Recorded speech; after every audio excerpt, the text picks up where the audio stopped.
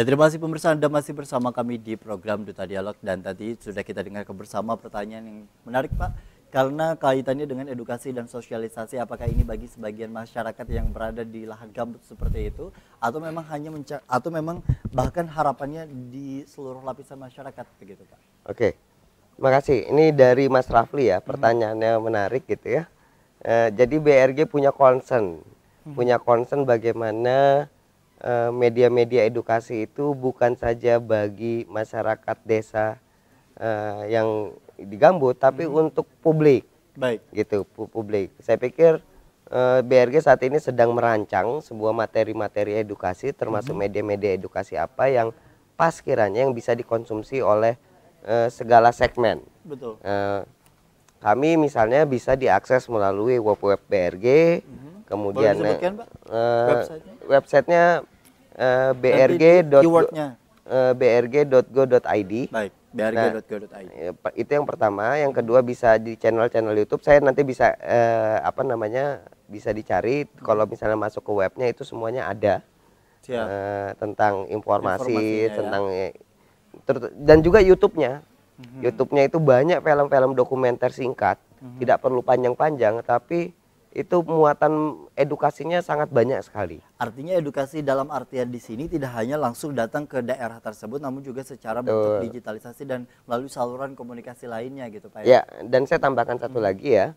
Eh, Saat ini BRG juga sedang mengembangkan edukasi muatan lokal untuk guru-guru SD. Baik. Harapannya pemahaman gambut itu itu juga mulai sejak dini. Mhm. Gitu. Jadi kami sudah mengembangkan eh, semacam alat ed- apa alat-alat permainan Mhm. edukatif tentunya dan itu semuanya terkait dengan gambut. Mhm. Mulai dari faunanya, floranya, kemudian macam-macam Mhm. gitu jadi saya pikir tapi ini menarik ini menjadi usulan buat kami Mas Rafli Eh, artinya ada kebutuhan eh, apa namanya masyarakat luas tentang eh, edukasi gambut Baik, artinya tidak hanya satu atau dua dari bagian daerah masyarakat yang berada di sekitar daerah gambut gitu saja Pak ya. Ya. Baik, luar biasa. Kalau kita bicara mengenai perekonomian tadi yang sudah disampaikan dari uh, Amnus ini sendiri, memang kalau kita bicara ekonomi, kaitannya dengan apa saja yang mereka kerjakan, produktivitas, kemudian juga konsumen dan lain sebagainya. Hal tersebut tentu ada kendala ataupun permasalahan yang terjadi. Lalu sejauh ini kendala yang dihadapi seperti apa dan kemudian solusi yang ditawarkan seperti apa dari Pak Yusuf?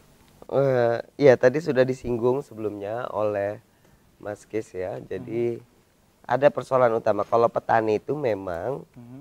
eh, definisinya kan yang menggarap lahan Betul. Nah, persoalannya memang dan banyak sekali ditemukan bahwa eh, apa namanya banyak petani itu kemudian kehilangan apa namanya lahan garapannya itu bukan saja dari izin tapi ke- ketika dia kebakaran juga dia kehilangan apa namanya kemampuan untuk menggarap Mhm. eh, lahannya sendiri. Baik. Jadi saya pikir salah satu masalah utamanya ya jelas bahwa juga soal produktivitas tanahnya ya, produktivitas tanahnya dan seterusnya. Saya pikir BRG coba kalau soal legalitas dan sebagainya pemerintah sudah punya dengan segala Aturan. apa aturan-aturannya keterbatasan yang ada di sana sini soal proses tapi peluang itu ada Mhm. dan saya pikir banyak organisasi masyarakat, masyarakat sipil sudah banyak mempromosikan bahkan membantu masyarakat untuk misalnya mendapatkan legalitas. Tapi saya ingin bicara di luar itu Mhm. bahwa eh, kemampuan apa namanya memaksimalkan lahan itu juga penting karena itu eh, BRG coba men, eh, apa namanya mengembangkan inovasi-inovasi bagaimana mengelola lahan eh, tanpa bakar tentu saja untuk lahan gambut dan itu menjadi bijak gitu. mungkin itu. Baik untuk di Kalimantan Selatan sendiri dari sorotan Walhi Kalimantan Selatan dominasi para masyarakat yang ada di Kalimantan Selatan ini pekerjaannya seperti apa atau memang uh, profesi yang dilakukan begitu? Oke, tapi sebelum saya jawab itu mungkin saya akan menambahkan Mhm. mengenai Silakan. terkait edukasi ini untuk siapa sih ya kan? Karena memang selama ini kalau kita bicara rawa gambut kan kok jauh benar gitu dari kota ya kan. Di- kadang kota juga ada gambutnya ya kan. Tapi kan contoh aja kita di dekat bandara tuh kan. Ya kan? Atau Baik. di kecamatan gambut. Tapi ini penting bahwa kalau dari masyarakat sipil kita ada namanya ikut memantau juga ini. Karena kita sebagai masyarakat jadi baik kami dan di tujuh provinsi kami bentuk namanya jaringan pantau gambut. Baik. Hmm. Nah, ya kan jadi kalau mau melihat itu di webnya ada pantogambut.id. Nah, itu ada kalau mau melihat apa-apa sih yang akan dikerjakan oleh Hmm. BRG. Kalau di BRG ada juga kan.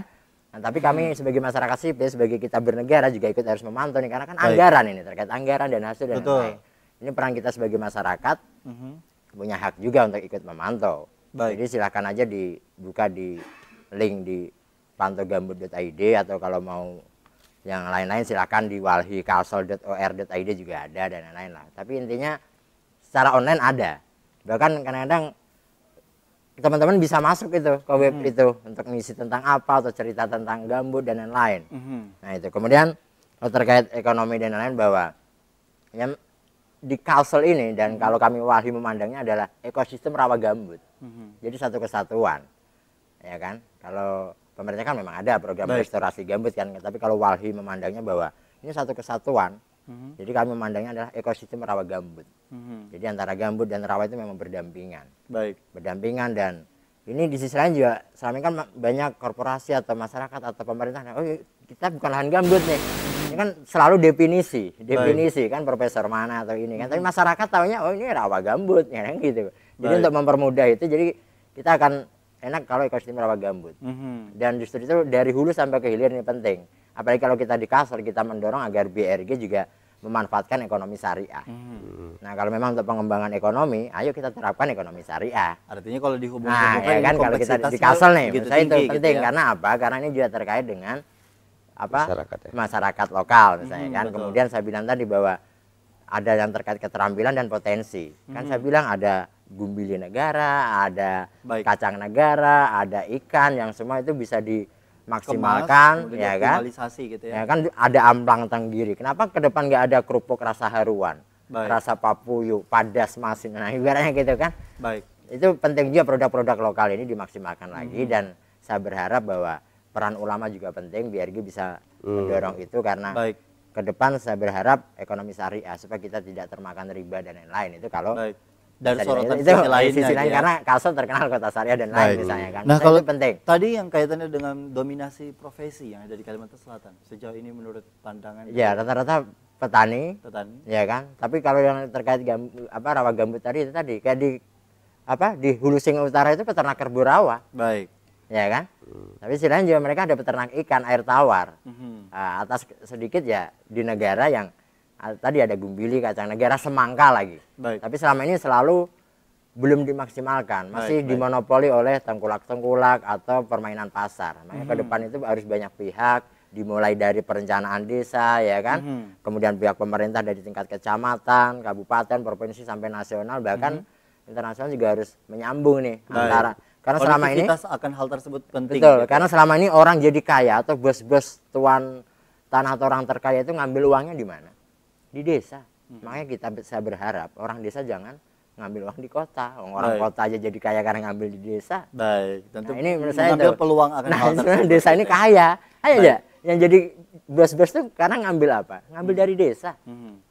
Ya. Baik, saya ingin ke Pak Yusuf sebagai terakhir Pak. Kalau kita bicara mengenai produktivitas perekonomian, kesejahteraan, ini tentu bisa dibantu dari banyak pihak tentunya, tidak hanya dari BRG. Namun fokus dari BRG ini sendiri untuk bisa memulihkan akan hal tersebut dan kemudian banyak sekali tindakan preventif yang terjadi untuk musibah kebakaran asap dan lahan. Lalu sejauh ini nanti mungkin boleh disampaikan kepada para pemirsa ada di rumah yang ke depan akan dilakukan sebagai fokus utama kemudian juga sebagai harapan dari BRG ini sendiri terhadap tujuh provinsi yang menjadi fokus em, pemulihan ini sendiri seperti apa? Oke, Terakhir, baik. Eh, terima kasih Mas Wawan, Mhm. Eh, pemirsa, pemirsa sekalian, teman-teman. Eh, BRG ke depan satu hal yang kami ingin tandaskan bahwa sekali, kami sering mengulang-ulang di berbagai kesempatan bahwa pulihkan gambut itu itu sekaligus memulihkan kemanusiaan. Mhm. Bicara kemanusiaan kita bicara soal budaya, kita bicara soal martabat, kita bicara soal ekonomi dan identitas masyarakat itu Baik. sendiri. Nah, ke depan BRG kami sudah melakukan program Desa Peduli Gambut. Mhm. Nah, yang paling dekat ini adalah kami bagaimana meningkatkan kerjasama antar desa. Mhm. Eh, kami sadar betul memulihkan gambut kemudian meningkatkan ekonomi itu tidak bisa sendiri-sendiri. Betul, betul. Gambut itu konsepnya itu bentang alam, lanskap. Nah, Hmm. karena itu eh, kami ke depan yang eh, setelah melalui eh, mulai dari pemetaan, peningkatan kapasitas, kemudian membuka pasar dan seterusnya, ujung-ujungnya adalah ini tidak akan berhasil kalau kemudian kita tidak kerjasama, Mhm. kerjasama di desa, kerjasama dengan pihak luar, bahkan kerjasama antar desa. Mhm. Karena itu kami akan mendorong banyak ka- kawasan-kawasan pedesaan gambut. Mungkin itu. Baik, baik, baik. Boleh tepuk tangan dari BRG ini sendiri luar biasa. Satu kalimat saja dari Walhi Kalimantan Selatan karena waktu kita cukup terbatas gitu Pak untuk menghibau Ya, masyarakat. terkait rawa gambut supaya Mhm. kita tidak terulang lagi, ya penegakan hukum harus adil. Baik. Ya kan jangan hanya rakyat kecil yang ditangkap. Nah kemudian yang ke depan adalah bahwa hak rakyat atau wilayah kelola rakyat harus diakui, Mhm. kemudian ekonomi kesejahteraan juga harus dipertimbangkan untuk dimaksimalkan. Sebagai bentuk optimalisasi kinerja dan juga perekonomian yang ada di Karena Indonesia. sekali lagi bahwa syarat kesejahteraan adalah alat produksi. Alat produksi adalah tanah. Baik. Kalau rakyat tidak punya tanah, bagaimana bisa sejahtera? Mungkin itu. Baik. kunci Baik, tentunya kalau kita bicara mengenai perekonomian ada di Kalimantan Selatan khususnya begitu, jangan lagi ada yang namanya terkendala akan modal sumber daya manusia dan juga pangsa pasar gitu Pak ya. Tiga hal tersebut tentunya harus diubah pola pikirnya kemudian dengan memaksimalkan dari lahan gambut ini sendiri sebagai salah satu bentuk uh, fokus yang menjadi bahan uh, dari BRG ini sendiri kemudian juga dari para pemerintah dan juga masyarakat. Terima kasih. Tidak terasa sudah 60 menit kita menemani para pemirsa ada di rumah. Terima kasih pada teman-teman yang sudah juga bertanya dan juga hadir ke studio Duta TV. Akhirnya saya Gusti Muhammad Termon pemirsa mewakili seluruh kerabat kerja bertugas mengucapkan terima kasih atas kebersamaan Anda. Sampai jumpa di program Duta Dialog selanjutnya. Assalamualaikum warahmatullahi wabarakatuh.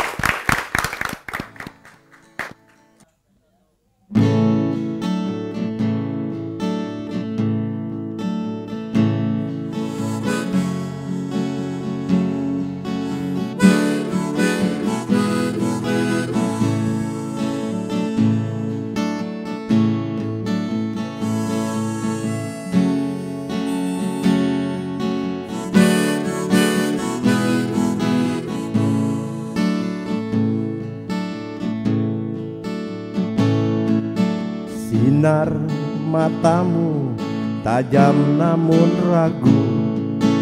Kokoh sayapmu semua tahu. Tegap tubuhmu takkan tergoyahkan. Kuat jarimu kala mencengkram. Bermacam suku yang berbeda. Bersatu dalam cengkramu Angin genit mengelus merah putihku Yang berkibar sedikit malu-malu. Merah membara tertanam wibawa Putihmu suci penuh karisma pulau-pulau yang berpencar. Bersatu dalam kibarmu. Terbanglah garudaku. Singkirkan kutu-kutu di sayapmu.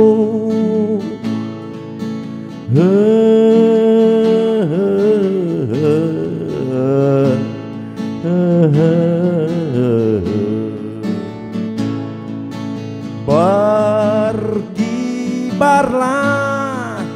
benderaku.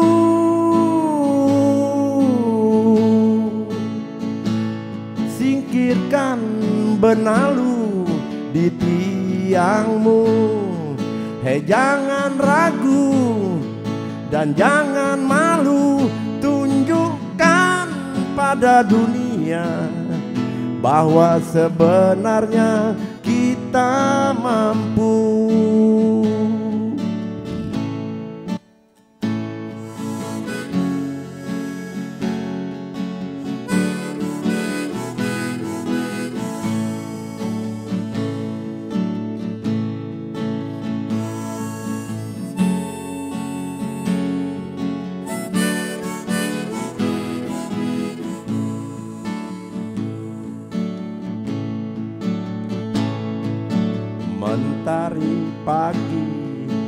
sudah membumbung tinggi Bangunlah putra putri ibu pertiwi. Mari mandi dan gosok gigi. Setelah itu kita berjanji. Tadi pagi esok hari atau lusa nanti Garuda bukan burung perkutut. Sang saka bukan sandang pembalut. Dan coba kau dengarkan Pancasila itu bukanlah rumus kode buntut Yang hanya berisi harapan yang hanya berisi hayal